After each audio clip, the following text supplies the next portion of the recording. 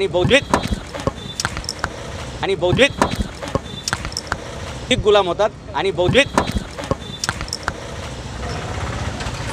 लक्षात घ्या. माझ्या तोंडाला डांबर फासलं काय आणि माझ्या तोंडाला काळं फासलं काय? मूळ प्रश्न परत तिथेच राहणार आहे. आणि जर असं काही गैरकृत्य कुठल्या राजकीय पक्षाच्या गटाने केलं तर त्यांनी समजून जायचं की ते फुले शाहू आंबेडकरांचं नाव घेण्याच्या पात्रतेचे राहत नाहीत. आणि नंबर एक दोन गोष्ट. ज्याच्या तोंडाला तुम्ही काळं फासाची गप्पा मारताय ना तो जिजाऊंचा वंशज आहे जाधवांचा वारसदार आहे.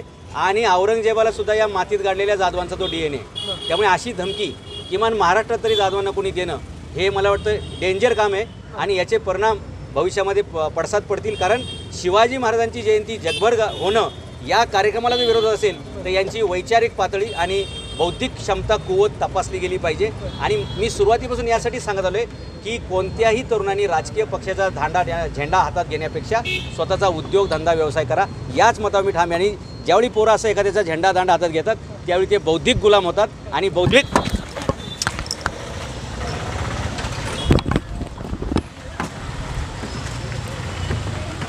शरद पवार जिंदाबाद! शरद पवार जिंदाबाद! शरद पवार जिंदाबाद!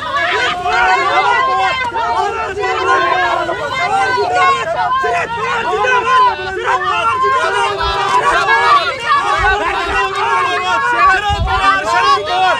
महाराष्ट्रातला वृंदावन! शरद पवार जिंदाबाद! महाराष्ट्रातला वृंदावन!